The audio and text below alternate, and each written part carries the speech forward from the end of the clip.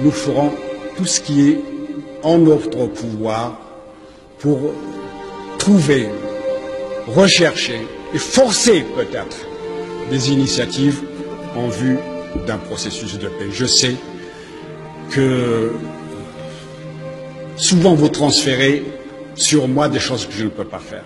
Parce que je ne suis surtout pas un, prophète. Je ne suis surtout pas un faiseur de miracles. Mais ce que vous avez fait là, le miracle de la réussite du Congrès, nous pouvons tous le faire, tous ensemble, avec tous les militants et militants du FFS, avec toutes les forces de progrès, avec tout ce mouvement associatif qui a été éteint dans l'Algérie profonde. Redonnons la parole aux femmes, aux jeunes.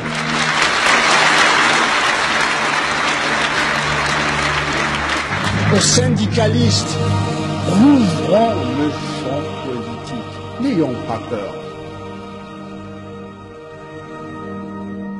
Nous devons véritablement euh, euh, redonner non seulement euh, à notre peuple l'espoir d'un avenir démocratique, mais aussi donner à tous ceux qui regardent l'Algérie, qui espèrent en Algérie, au Maghreb, au Moyen-Orient, qui disent ce pays a toutes les chances de réussir. Il nous a toujours donné l'exemple de,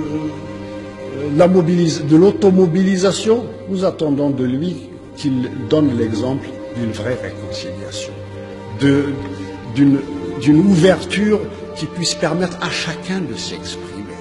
Je pense que lorsque nous disons le contrat national est là, c'est parce que nous, pensons que les principes qui ont été à sa base sont des, principes raisonnable et incontournable.